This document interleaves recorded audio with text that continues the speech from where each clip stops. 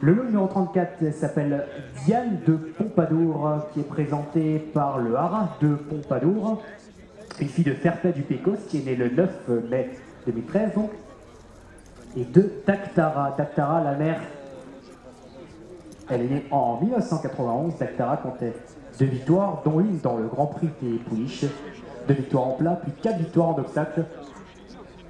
Et elle a déjà produit Dharma, un fils de face, gagnant le grand critérium des Anglo-Arabes, pour l'écurie du Triangle et l'entraînement de Jean-Pierre Totin.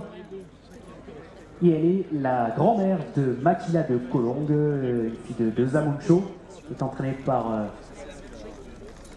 Philippe Boisgontier.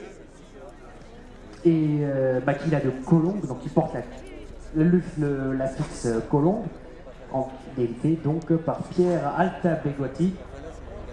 C'est la famille de Hector, un fils de Tan Music, entraîné lui aussi par Jean-Pierre Potin, et exporté au Japon.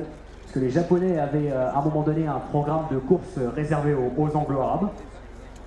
Et c'est également la famille euh, de Réau du Moulin, un Vizaza, de Gardania et l'Arrogant. Voilà pour ce numéro 33.